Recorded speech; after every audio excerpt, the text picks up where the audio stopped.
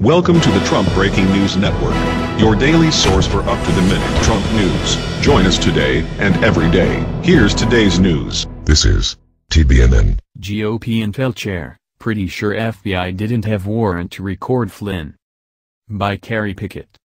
Washington, House Select Intelligence Committee Chairman Devin Nunes called foul on the leaks of classified information relating to conversations between former National Security Advisor Michael Flynn and a Russian ambassador. Any intelligence agency cannot listen to Americans' phone calls, Nunes told reporters Tuesday night. If there's inadvertent collection that you know is overseas there's a whole process in place for that. He explained, it's pretty clear that's not the case so then they could have been listening to someone else and inadvertently picked up an American.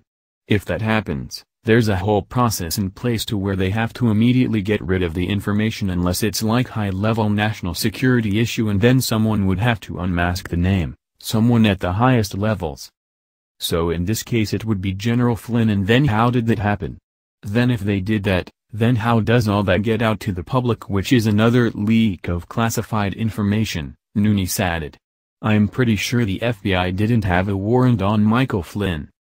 Also see, Zero Hedge. Trump responds to Flynn resignation. The real story here are the illegal leaks.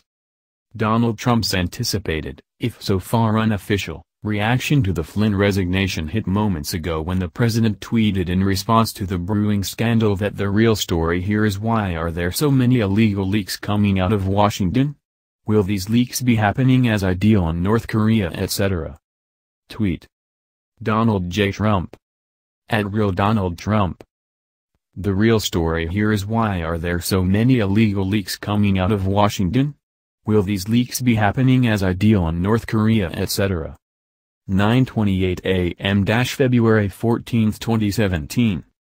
The White House announced Flynn's resignation Monday night the culmination of weeks of controversy surrounding alleged communications with Russia.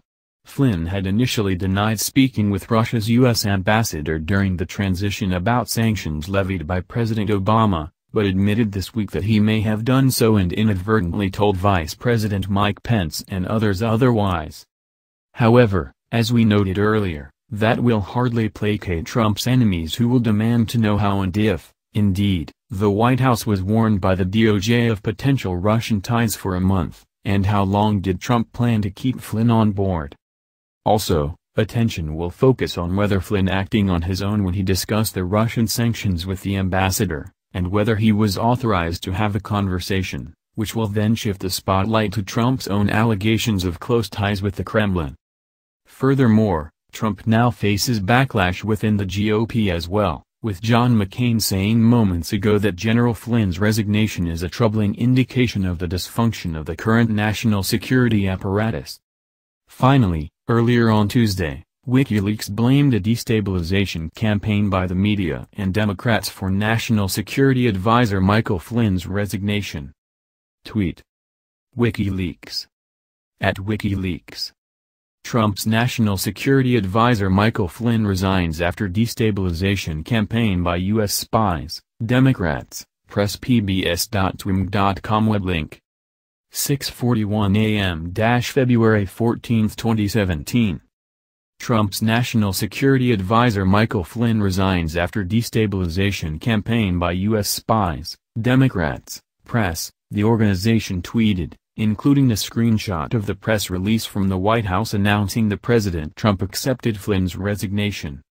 As also reprinted earlier, Russia responded to the Flynn resignation, calling it an internal matter, while some Russian politicians were quoted as accusing the U.S. of paranoia. That's the news. Join us here every day. Be sure to subscribe and click the bell. See you next time. This is TBNN.